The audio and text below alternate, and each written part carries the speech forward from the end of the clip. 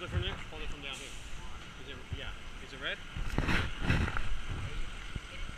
come on.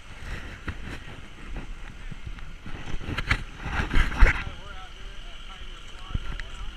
Pioneer Plaza. We have some buses out here, and look at John Carlson. right there. So, this is our tour that we do. This is actually our combo tour right here. It's an hour and 30 minute tour. 45 minutes to Dallas, 45 minutes.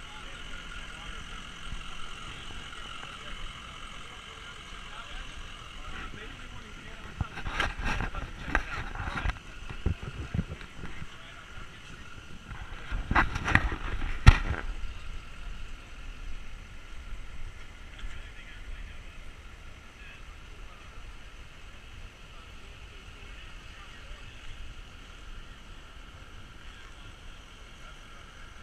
Hey John, how's it going? Hey, buddy. Doing fine. We're at Pioneer Plaza. This is the second largest installation of bronze statues in the United States, uh, if not the world. I think Sweden has two. Uh, but what you see here, these statues are a little over that size. Um, you got 49 longhorn steers. You got three cowboys. And uh, we start at the top of the hill. We wind down. We cross a water feature. And I like to just bring our guest over here and drop them right in the middle of a cattle drive. There you go. What tour are you doing right now? Well, th- this one we call the combination tour. What we do is 45 minutes of downtown Dallas. I'll show our guests the best sights down here.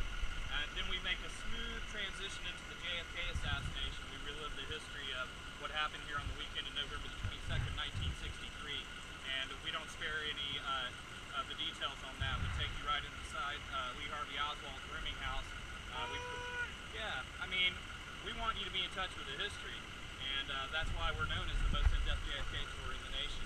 Come on down Dallas City Tour, take a tour with us, and we'll be happy to show you the best sights down here and give you a trip through history that you can't beat. Awesome. Thanks, man. You got it.